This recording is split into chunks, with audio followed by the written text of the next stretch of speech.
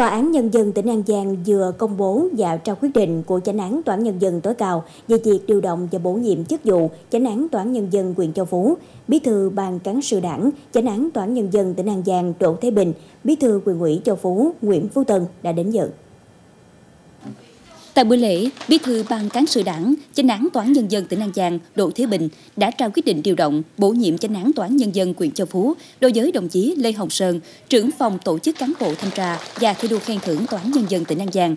Phát biểu giao nhiệm vụ, Chánh án Tòa án Nhân dân tỉnh An Giang Đỗ Thế Bình đề nghị trên cương vị được giao, đồng chí Lê Hồng Sơn tiếp tục phát huy thành tích đạt được, không ngừng phấn đấu, tu dưỡng và rèn luyện phẩm chất đạo đức, lối sống, nâng cao bản lĩnh chính trị, tuyệt đối trung thành với sự nghiệp cách mạng của Đảng, trong công tác, không ngừng nâng cao trình độ chuyên môn, nghiệp vụ, nêu cao vai trò tiên phong gương mẫu của người lãnh đạo, quản lý, xây dựng ngành, xây dựng đội ngũ cán bộ, thẩm phán có bản lĩnh chính trị vững vàng, trưởng thành qua thực tế, có chuyên môn nghiệp vụ vững vàng, chí công vô tư, giàu lòng nhân ái, phân đấu hoàn thành tốt mọi nhiệm vụ được giao.